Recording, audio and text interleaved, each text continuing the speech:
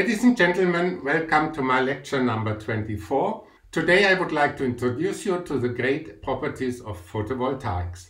At the beginning I would like to spend a few minutes on physics so that you understand how photovoltaics basically works. I cannot go into very much details because it's a very complicated subject, but in this lecture today I would like to explain you the basic principles.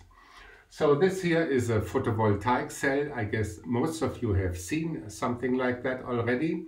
There's a big variety of photovoltaic technology and I cannot explain everything, but I will show you the basics. So how does photovoltaics work? Up to now we studied wind and solar power and in both cases there the energy is generated in a generator who is rotated by a turbine or something similar. In photovoltaics, this is very different. This is a way of producing electrical power using semiconductors or similar things. So there's no motion, there's nothing rotating, and still there's electricity coming out. So how does a photovoltaic cell look like? Well, basically on the top and of the bottom of this photovoltaic cell, you have electrodes, which means there's some metal or something where the electrical current can flow through. And to this photovoltaic cell then, where the electricity is coming out, you just connect a load. This is what the user has to do. How does it work inside? Well, the basic principle is that you have an active substrate and this active substrate is hit by light and as soon as the light goes in there are some reactions happening and these reactions produce electricity. How does it work? For that you have to understand a little bit how matter is made inside and from school you have all learned that matter is made out of atoms and atoms have a positive nucleus and a negative cloud of electrons. To simplify this picture let's have a solid block of material made out of positive nucleons and only one electron around in reality, you have more electrons, but most of the electrons are tightly bound to the nucleus so that they somehow don't count for these processes.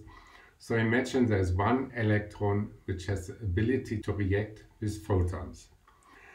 If now a photon is coming in, it goes through part of the material, so the material has to be more or less transparent for photons, but not really because the photon should be absorbed in the material after some micrometers, for example.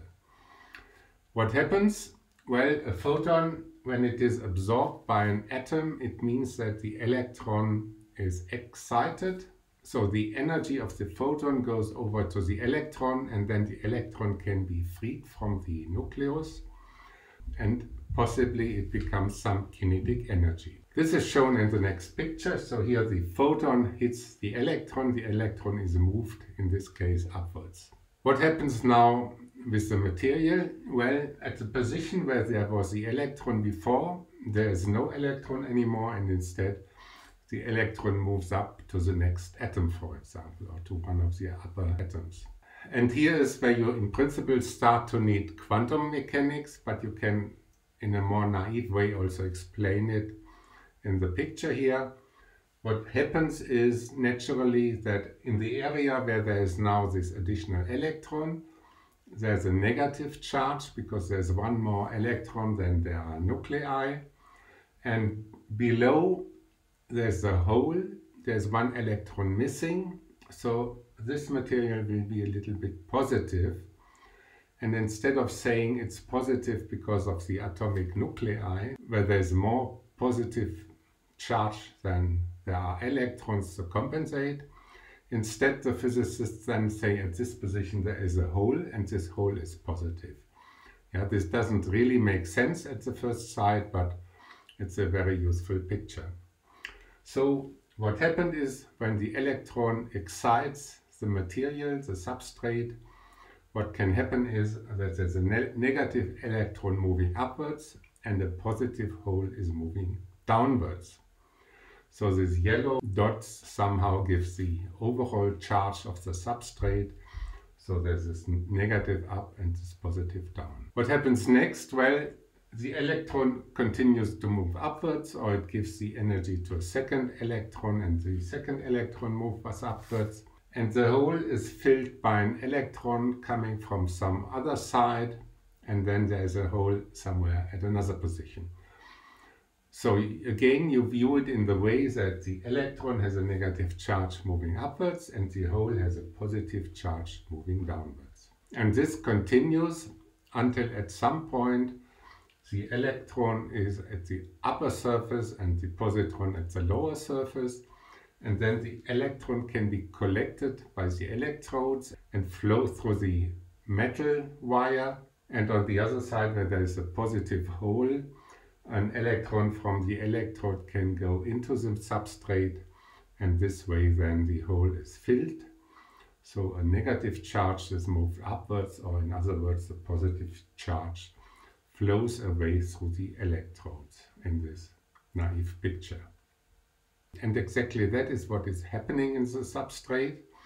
So here again the picture of the photovoltaic cell. The active substrate is in between these electrons. The upper electrode has to be transparent so that the light can go through. And then when the light is absorbed, it excites these electron hole pairs, how you say it in physics and these electron hole pairs then move through the substrate and they move to the electrodes and then they are collected at the electrodes but sometimes of course it happens that an electron and a hole fit together inside of the substrate so they recombine the energy is freed as heat energy then and of course the power of this electron is lost for the application. So this explains why there is electrical current flowing out of the electrode. Of course, that doesn't explain everything. You might have the question going back to the other picture, for example, why are the electrons moved to one direction and the holes to the other direction? This has to do with internal electrical fields in the substrate. This would go too far for this lecture. Maybe at another lecture I can explain that in more detail. So this is the simplest model of a photovoltaic cells explaining how the basic principle is. But nowadays there is a huge research program going on since many, many years now to improve these cells and to find better material to have better efficiencies. And exactly that is shown here on this diagram. This shows your plot starting in 1975 until today and the vertical scale here is the cell efficiency. So from close to zero, it rises up. And on the right side here, you see that the highest efficiencies that have been shown today are about 47%. So there has been a great progress in the last decades about increasing the efficiencies. Just a few words now to the different substrates which are being used. The most major technology are silicon cells. A lot of these silicon cells are made with single crystals, but you can also use silicon heterostructures and thin film crystals. Silicon is a semiconductor which is very well known from uh, semiconductor electronics and there's a lot of experience here. And a lot of the photovoltaic cells which you can actually buy for your roof for example they are made out of silicon. But there are also other semiconductors for example gallium arsenide junctions can be used also in thin films or in single crystals then there are all kind of different materials amorphous and crystalline and um, nowadays there's a big program also running on organic cells and a rather new technology uses perovskite cells. So from the names already you hear you can have all kind of materials, unorganic and organic. There are dyes being used because dyes are needed to absorb all kind of colors of the solar light. And from the names you also understand that a lot of those things are poisonous, like if you talk about uh, cadmium cells or arsenic junctions, you see already that it makes a difference only to produce the best efficiencies or to produce a photovoltaic cells which you then can produce in large scale without poisoning the environment. just before I explained you the physics principle, so there is always an excitation of electron hole pairs. And these excitations depend on the photon energy. So in principle, if you have a fixed photon energy, which means a fixed wavelength of the light, a fixed color, then you can optimize your solar cell for this color. But of course, we would like to absorb the solar spectrum and therefore you would of course like to have photovoltaic cells which can absorb all wavelengths. And to do that, and this is normally not possible if you have just one substrate, instead you need junctions of several substrates, so different kind of junctions and therefore you need layers of photovoltaic cells, so-called multi-junction cells. They allow to have a higher efficiency for a lot of wavelengths, not only for one. And therefore, if you want to have very efficient photovoltaic cells, you need rather complex solar cells with these multi-junctions for different wavelengths. I do not want to go deeper into the physics and the technology which is used. But one more thing to say is most of the solar cells have to be done using semiconductor technology, which means you need very clean rooms to do that and it's a rather complicated technology. However, there's a development of new solar cells, especially the organic solar cells. They are much simpler to produce and some of them you can even use like a paint. So you can paint some substrate and then your substrate becomes a photovoltaic cells using this paint as active material. So there's a lot of development and there's a lot of hope for the future to improve that even more. Now I would like to go from the simple cell to a photovoltaic system. So there's more needed than just a photovoltaic cell. And this is shown here in this diagram. So you have the solar cell, which is the physics active material. This has an upper and a lower connection with electrodes. Then from that you produce a solar module. So this sometimes very sensitive and fragile solar cells are put into a frame which has normally a glass window on top and some metal below. It all has to be connected. Normally it's connected all in a row. And then you have a solar module which you can buy in a shop. And from this solar module then you can make a big solar panel with a lot of modules. And then if you have a big roof, you put a lot of these solar panels on your roof or on your field. And then you have your photovoltaic system. And this then has connections of the individual panels. And also here you connect them either all in a row or you have a parallel connection to it depending on all kind of things you have to keep in mind. This is not our main business now, but then the question is how to connect such a solar system. Well, here's a nice drawing which shows it. So it starts with the modules on the roof, for example, they are connected in row or in parallel. The electricity which comes out there is DC, yeah, direct current, because all the photovoltaic cells have a positive and a negative sides, because the electrons always move to one side and the holes to the other side. If you now connect a lot of them in a row, and each photovoltaic cell has typically 1 to 2 volts, then you can get very high voltages from that and this high DC voltage then, if you want to use it at home, then has to be converted into alternating current. The modules which make AC out of DC are called inverters. So they convert, for example, 400 volt DC electricity in, for example, 230 volt AC, which you then can use at home. These AC network can then either be just locally in your own home. Then to have electricity, in addition you need a battery to store the electricity during the day to use it overnight. Or you connect everything to the grid. Then of course you can use the grid at night and during day you feed your own photovoltaics power into the grid. And on my roof, for example, I have just this kind of system. I don't have a battery and I have a meter. Actually, I have two meters. One meter counts all the time when I feed my electricity into the grid and I get paid for that.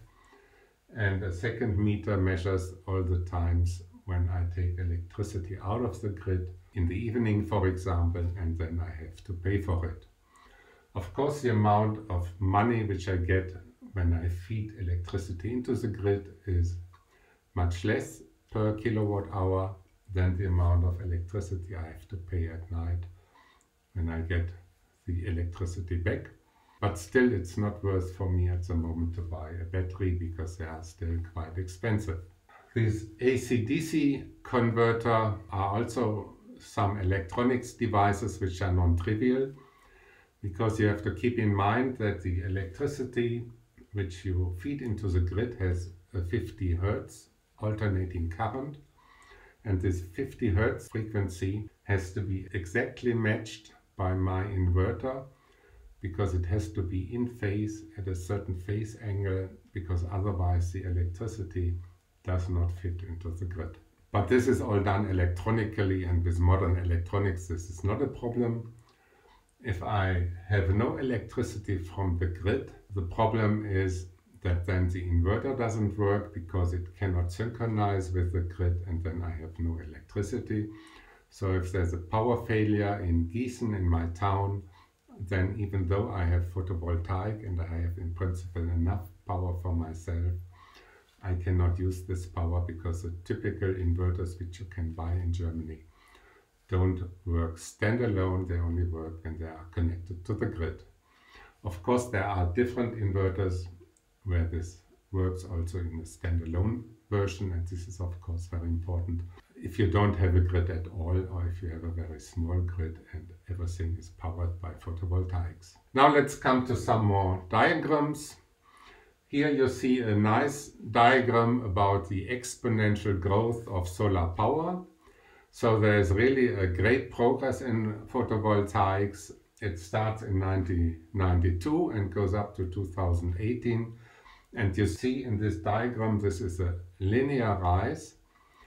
You have to keep in mind that this is a half logarithmic scale, which means that horizontally it's a linear scale where the years are and vertically where the power is, the gigawatt, this is a logarithmic scale. So it's a logarithmic growth, which means that every few years the amount of electricity doubles. So if you look at the diagram, it's about, I would say, every six or seven years, the amount of photovoltaic is growing by a factor of 10. So this, of course, cannot go on like that all the time but at the moment there's no saturation yet and a factor of 10 every six or seven years is really great. Nobody would have predicted that 20 years ago and actually the predictions are even worse. So on the diagram here on the right you see the International Energy Agency had every year predictions in the World Economic Outlook and every year they somehow predicted that there's no rise of photovoltaics anymore and the reality looks really different. So you can now of course ask what is the reason why the predictions are so wrong, but this is also not our subject here today. Another plot which is also quite interesting is the solar cell production, showing here behind me. So the solar cell production also increases exponentially and you see not only that, but most of the photovoltaic production comes from China, including Taiwan, but also Europe and Japan and North America are strong in that, and there are more and more countries coming which also produce their own photovoltaic cells. This diagram shows here what's called the Swanson's law, but in principle it's nothing special here in photovoltaic. We all know that there's a property in industry which you can call the reduction by large numbers. As soon as you produce a lot of things, people find a lot of ways to produce it cheaper. And exactly that is what is happening in photovoltaics here. So this is a double logarithmic plot and in this double logarithmic plot the photovoltaic prices go down almost linear. So that means whenever you produce a factor of 10 more of these modules, then the price goes down by a certain factor. And this is the reason why photovoltaics is so cheap nowadays. A similar curve you know from computing, also there the computing power grows with the number of computers produced. Also the computer storage has a similar curve where also the prices per bit go down in a similar way. So this diagram here shows you the prices of PV cells. It started in the 70s with $76 per watt of peak power and now it's below 30 US cents. And if you convert these prices into the production of electricity, there the best prices from this year is that in Abu Dhabi there's been a power station produced in the desert where the guaranteed electricity price by the company is 1.2 euro cent per kilowatt hours. So it's really cheap. So we are approaching now this one cent limit for the kilowatt hour.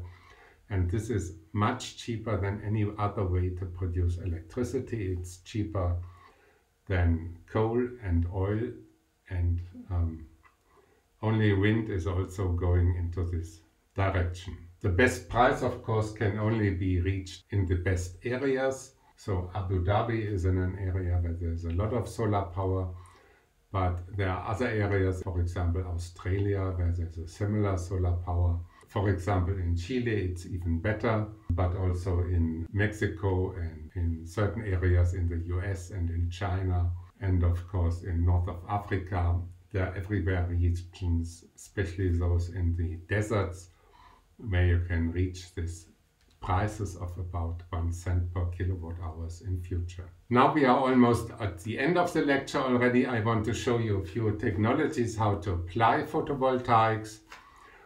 A first example shows you the rooftop photovoltaics. So you can really do it everywhere even if you are in an area where there's no electricity connections, then with photovoltaic and some storage, you can have your electricity at home.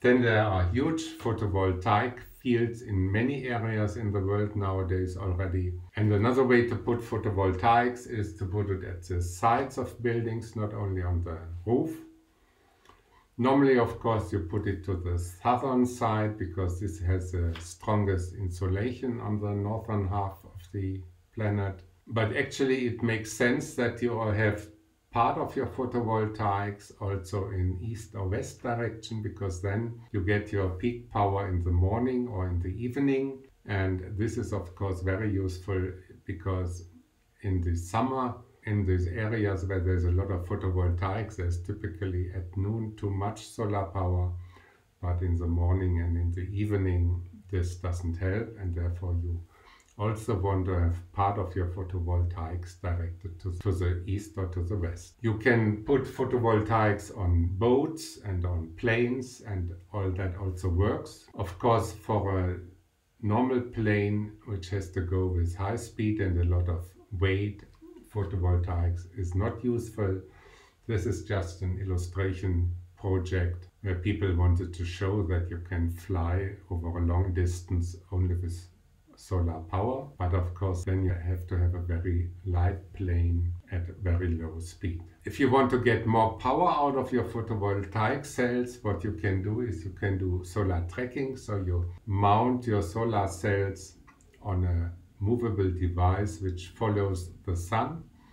Then you always have the optimum angle to produce electricity. Of course, this means additional costs and maintenance because of the solar tracking. You have movable parts and you have the different stands.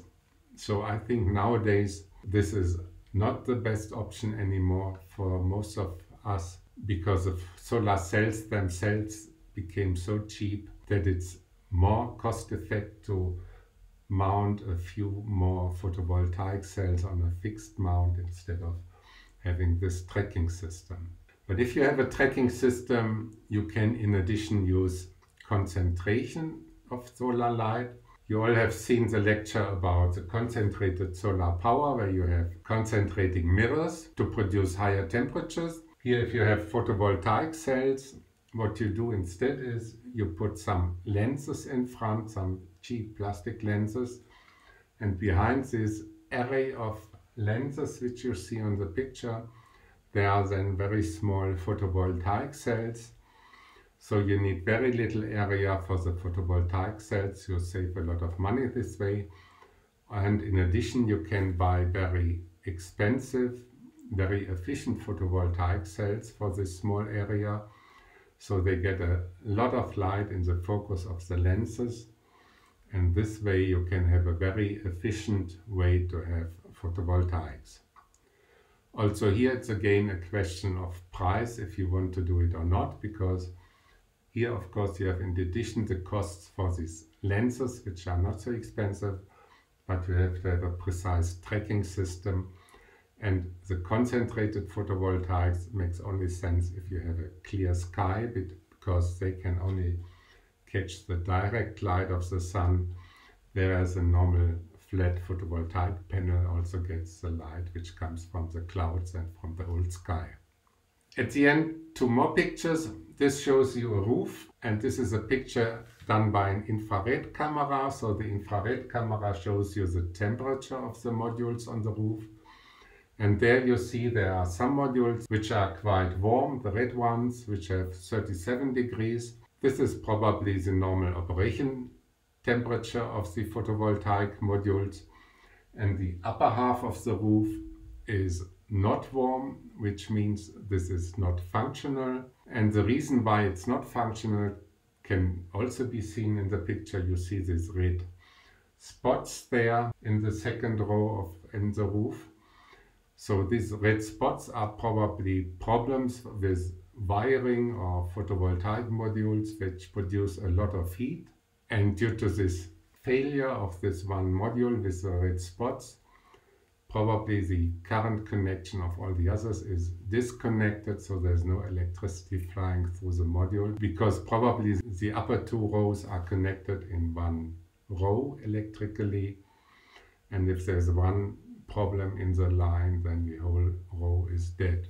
Something like that happened also on my roof. I had shown you my roof before. Also here electrically I have two parts one part is connected in parallel and the second part of the roof is also connected in parallel. And on my roof, one of the modules was hit by lightning.